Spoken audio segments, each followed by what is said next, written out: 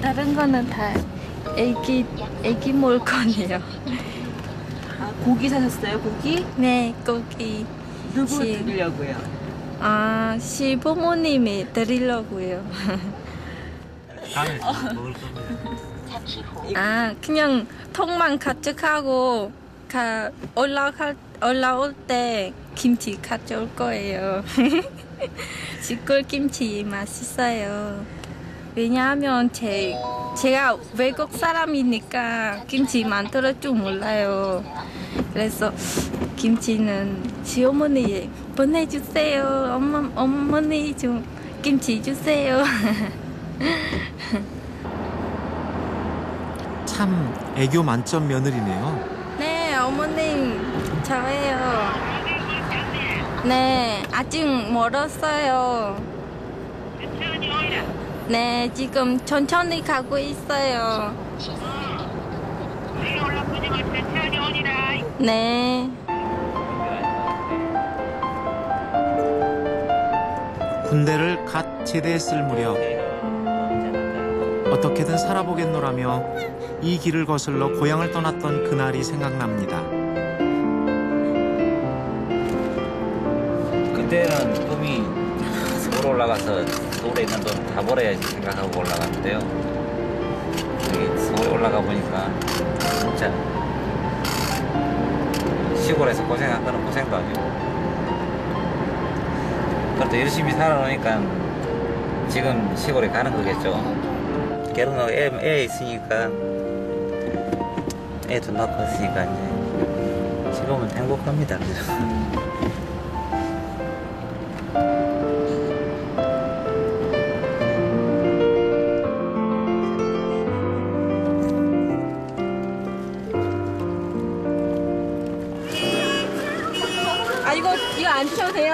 안에 터세요. 아니, 못 가져가요.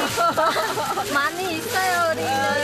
하나, 이거. 하나만 하나만 더 하나 가져가세요. 드세요. 아유, 네. 감사합니다. 네. 잘 다녀오시고요. 김치 많이 가져오세요. 네. 3년 전만 해도 혼자 가던 고향길. 이제는 더 이상 외롭지 않고 든든해 보입니다.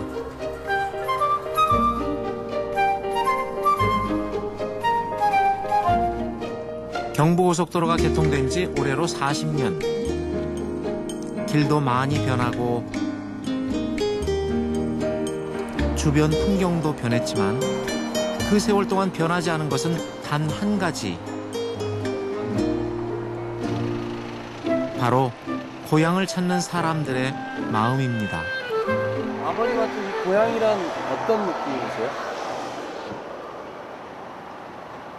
그냥 엄마 품? 우리 어머님은 따뜻한 아랫목 같아요. 명절 때 엄마가 시골에서 이렇게 따뜻하게 엿 고아갖고 해줬던 기억이 나거든요. 그런 거는 평소에는 못 보는 맛이잖아요. 명절 때 가족끼리 모여서 함께 있는 맛이 그렇게 조청같이 끈적끈적하고 행복한 그런 시간을 맛볼 수 있는 때인 것 같아요.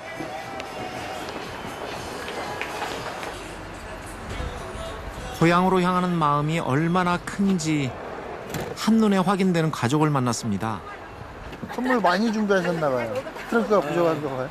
그래도 뭐 이제 가족이 많이 모이니까 그래도 설명절에 경기가 어려워도 이 명절만큼은 내 가족과 함께 또 행복하게 보내기 위해서 이렇게 하는 거죠. 명절 때마다 이렇게 다들 모여서 가시나 봐요. 예, 우리는 이제 항상 그 차 두 대로 가면 또 기름값도 많이 들고 또 이제 전용타로를 탈 수 없이 길이 많이 막혀가지고 항상 같이 가고 있습니다. 그 명절 때는 이렇게 막혀도 고향에 가서 부모님과 이렇게 형제들과 같이 음식도 나누고 이렇게 올라와도 보면 또 이렇게 또 충전해서 또 있는 것 같습니다. 운전 조심하세요. 네, 감사합니다. 수고하세요.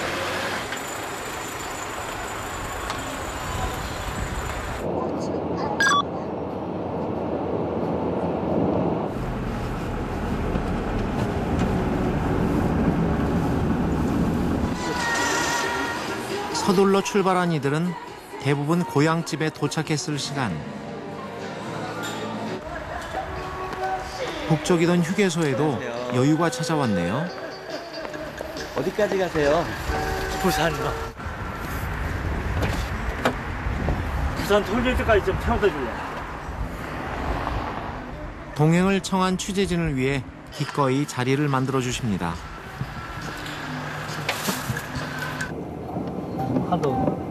세상에 이쁘게 할 걸 그랬네. 아유, 지금도 충분히 예쁘세요. 한때는 아이들 틈바구니에서 이 길을 오갔었는데 이제 두 내외만 길을 나섰습니다. 나이가 들고 크면서 각자 이제 하는 일이 다르고 하다 보니까 흩어지게 돼요. 그래 내가 생각하는 명절은 이렇게 멀리 떨어져 있던 가족이 한 자리에 모여서 같은 공간에서 같이 느끼고 같이 지내고 정말 가족이 되는 거 그게 명절인 것 같아요. 원래 어머니는 품이 제일 좋잖아요. 나이 들어도 어머니한테는 자식이고 다 부모님은 하늘과 같은 거 아닙니까? 평소에 어머니께 그렇게 표현해 보신 적 있으세요? 아 별로 없어요. 별로 없고 그냥 가면 인사도 뭐 제대로 못하고 그냥 올 때가 많아요. 사회가 그런가 내가 못하는 건가 그걸 모르겠어요. 지금. 어머님 사랑합니다. 그 한마디 밖에 없어요. 지금. 머리가 반백이 된 아들은 그동안 표현 못했던 수줍은 고백을 어머니께 건넵니다. 네, 감사합니다. 예. 들어가세요. 이제 오나 저제 오나 고향집에서 기다리고 계실 어머니는 그 마음 알고 계시겠죠?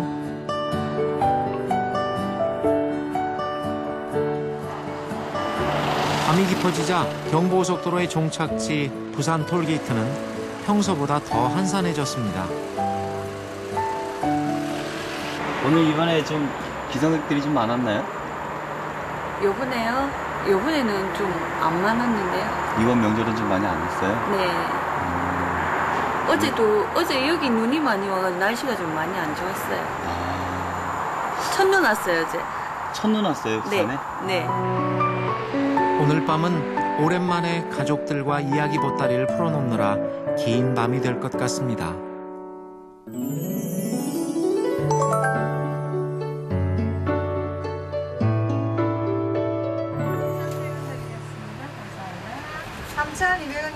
설날 아침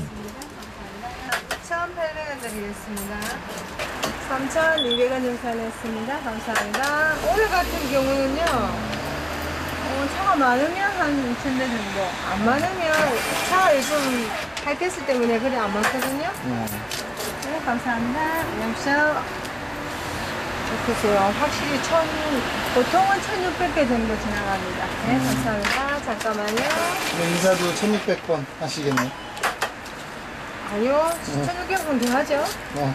감사합니다. 안녕하세요. 맞이 인사하고 끝 인사까지 다 해야 하면 많잖아요. 안녕하십니까, 어머니. 네, 외려드리겠습니다. 감사합니다. 안녕하세요. 네, 감사합니다. 누가 제일 생각나세요? 안녕하십니까. 그럼요. 네. 부모님이요. 돌아가신 부모님. 감사합니다.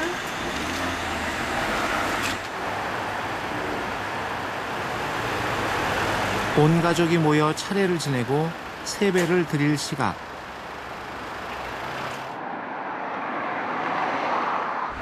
부산 톨게이트 앞은 주차장이 됩니다.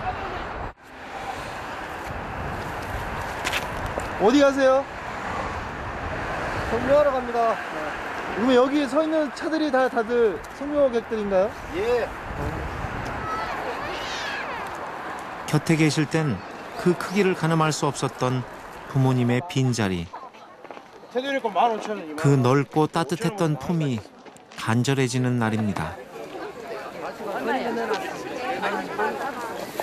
어디로 가? 언니. 이리 가야지. 이쪽으로 가야지. 형님. 이리 와라, 이리 와. 그저 올라가는 길이다.